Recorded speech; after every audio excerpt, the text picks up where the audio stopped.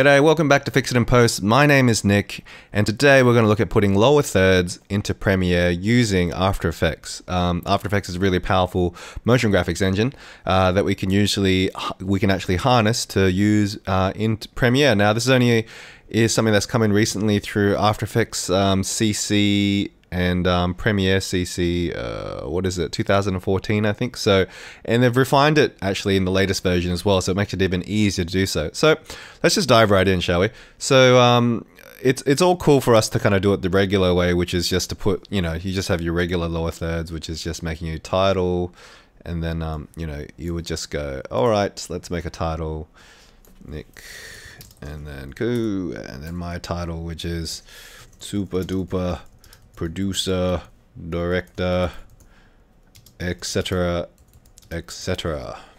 Let me change that font to something cool. Um, Helvetica. If anybody's in doubt, always use Helvetica if you don't know what font to use, because uh, that usually gets you over the line.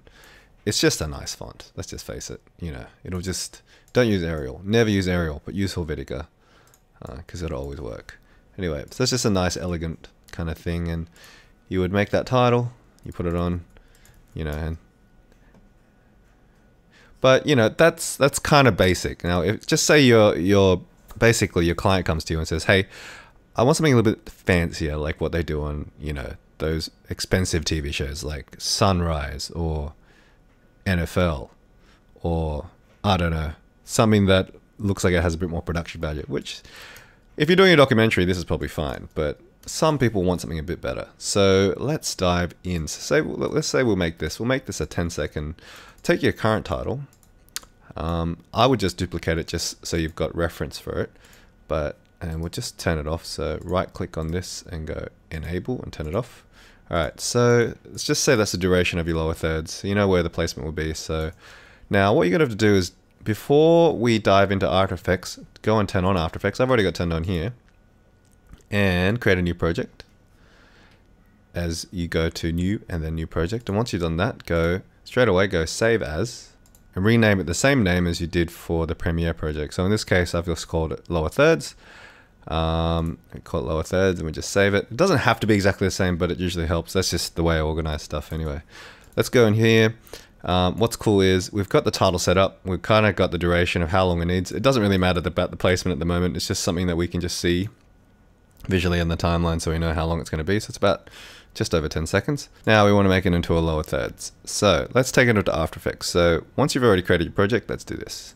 So right click, replace with After Effects composition, and it'll just bring this black, it'll come in here and it'll just give you this black solid, which is essentially the same size as the, uh, the title clip here.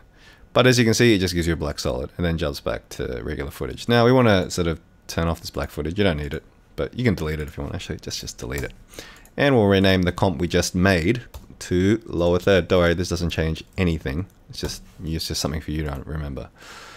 Okay, cool. Now, if you come back here, you can see nothing is there because nothing is here. So, but if we pull in a solid, for example, this color, I don't like this color, let's make it a bit more tealy. Whatever you want to call it. Teal. Yeah, maybe that'd be something like that. Uh, let's bring it down here. Okay. Now if we go back into Premiere, you'll see that there's now a blue bar there. Um, and if we want to put a little bit of animation on it, let's uh, let's do this. So that was P to bring up the position and then I click the stopwatch thing here and put a keyframe there and then I went back here and I moved it back and it created another keyframe. Um, and we'll just put a bit of an ease on it. So for those who didn't see keyframe assistant ease ease in. Alright so if we go back into Premiere we can see this is what's occurring. Alright now here's the other fun part. Let's put in some text. So let's call this um, I'll just say this is my name, Nick Khoo. Um, we'll make it bold because I'm important. And we'll make another one. Um, we'll call it Fix It in Post Guy who thinks He knows everything as my title because that's basically what I think about myself. Um, actually, let's make this, we'll make this all caps and we'll make it a bit lighter. That's just the way I like doing things. Um, all right, now let's put a little bit of animation on this. I'm gonna just put a, make a new solid here. I'll make it red so it's real obvious that if it shows up, it shouldn't be there. This is what I like to call uh, alpha matting. So let's do this. We're just going to make this a big solid that just goes right up to the edge here. And we'll put it just right above my name. And then we'll turn on the alpha layer on this layer. We'll switch toggle switch until you get this where it says none and go alpha matte. And then we'll just find a position here, press P for position, and then I set a keyframe there, and then we'll set another keyframe where it disappears to the back here. And we might make it go back a bit further, so we've got a bit of leeway, and I'll show you why in a second. Let's make it go all the way back here. Cool, and we'll put an ease on this, easy ease, ease in. Okay, so there we go, we got that one. Now we're going to do the same with, we're going to duplicate this level, uh, this layer, so we'll go duplicate, um, sorry, we have to do it up here, don't we? Edit, edit, edit. I said edit, and I said went to layer. Duplicate. um, getting, I'm getting senile in my old age. I'm only 37. Ah. Uh, we'll do the same with this one. Uh, we'll make it, the solid's there, but it's just turned off from the previous layer. So we just go to alpha matte, and again, press P, and we'll set a keyframe there. And then we'll go back. So what's actually happening here, just so you understand what's happening, is that I have essentially set a, a, bounding box for where the text can appear. So if you turn this on, the text, I'll just make it a bit more opaque. The text can only, will only appear in this region here, this red region that I've created. So that's what the alpha matte is. So it's essentially like a mask. Um, but you can define it in a shape and you can make the shape whatever you like. So in this case, I've just made it a rectangle, but you can make it a square or a star or whatever you like. Um, as long as you define the layer above, if you press the, if you turn the alpha matte on, the layer above it determines where the bounding box is, if that makes sense. So like a fence. So anywhere within, anywhere within the red perimeter is where the text or whatever you decide will show up. So you can do this with any layer. It doesn't have to be just text. It can be any layer. Can be any kind of, um, anything can be alpha matted. Um, I'm just going to offset it a bit so it just looks a bit sexier. So it looks like it comes in. Zoop, zoop. Okay. So if we go back to Premiere, well, that looks a bit nicer, right? Um, we can even play around with this shape a little bit too, so it looks a bit more futuristic. Um, let's go to the transform properties of the rectangle and let's skew it a bit make it look a bit more fancy. Fancy feast. Such an American thing. I'm such I'm so horribly influenced by America. Fancy. Okay. All right so that's that's uh, that's kind of a much nicer lower thirds than you can create in Premiere. So now let's have a situation where you've misspelt the client's name. So let's go and misspell my name. Um, Nick Cool, because I know people get that wrong all the time.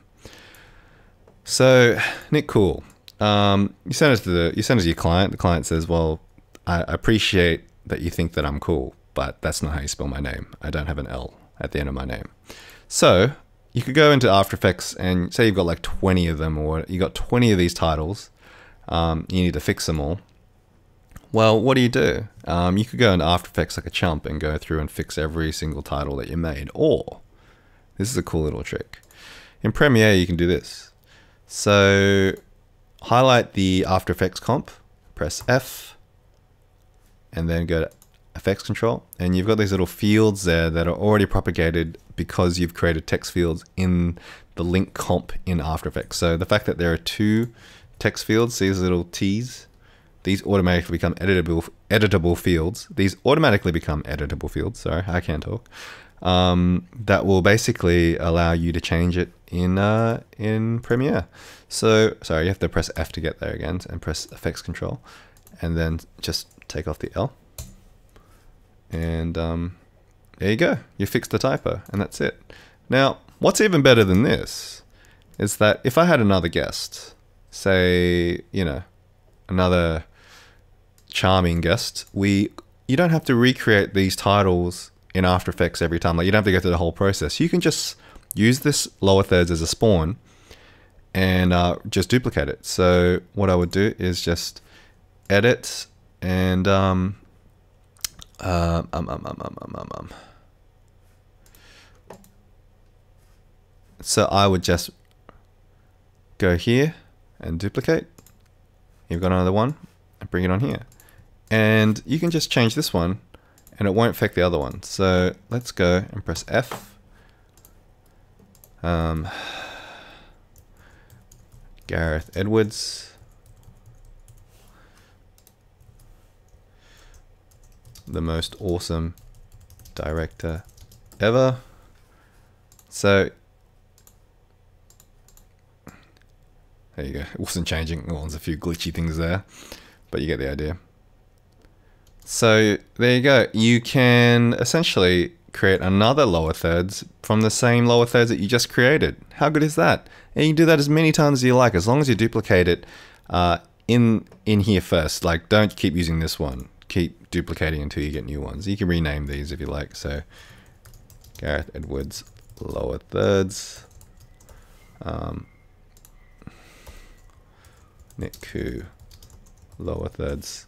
And you can just keep renaming and renaming until, you know, you find the one that you like. So that's pretty much it. It's a quick one today. I, I didn't get to do much in the animation one today. I was preparing for it. I just kind of ran out of time because um, I really wanted to delve a bit deeper into this one. But um, the animation stuff was just a bit held up this week. But I'll get back to it next week. But I thought I might give you guys something, and this is kind of really cool. Look, you guys can customize this stuff as much as you like. And what's even better is that you can customize any of them and it'll update all of them, which is really great. So you can change one, you only have to change one comp and it'll update all of them. So I'll show you what I mean. Um, here we go. So just say we want to put a uh, a ramp on this. Oh, actually, we don't even need to do that. We can do that in here. Let's put a um, just to go to the fill. Let's do a ramp, and let's change that ramp because that ramp's a bit ugly. Um, we change this one to.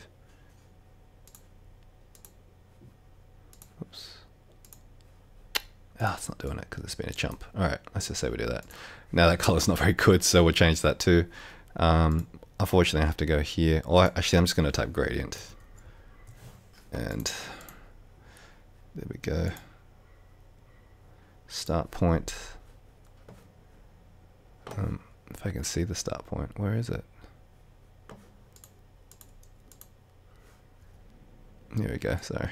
I was like, where is it gone? But it's right there.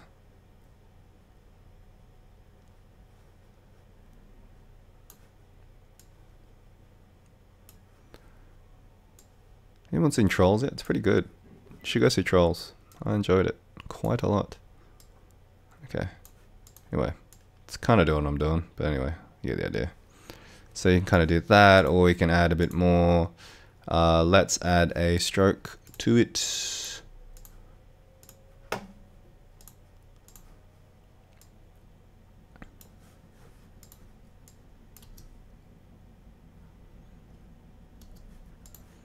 And if you go back, you'll see that everything changes.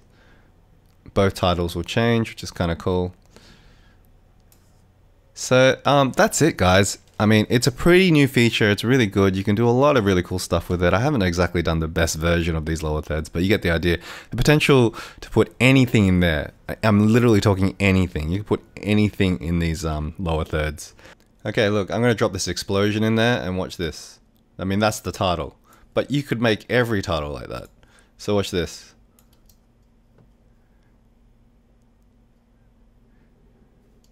Great, right? Watch this one. How good are these titles?